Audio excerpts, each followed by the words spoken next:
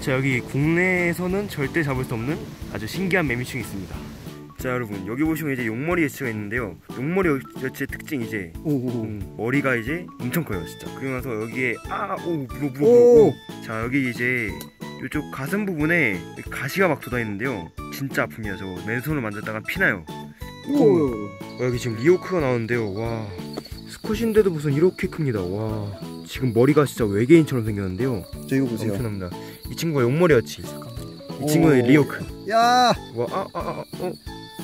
와, 진짜 힘 엄청 세요, 얘네.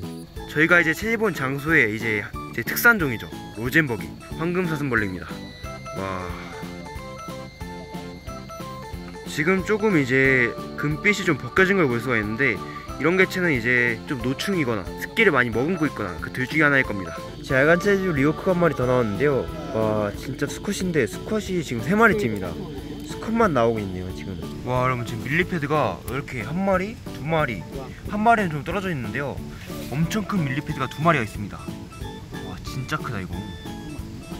크기가 진짜 제 손가락이 한 요만하면 진짜 이 정도로 커요. 자, 리오크 암컷입니다. 엄청나게 크죠?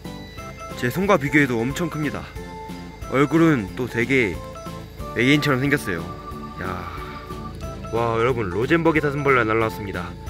진짜 황금색이 아주 엄청나게 예쁘네요. 크게도 나쁘지 않은 크기입니다.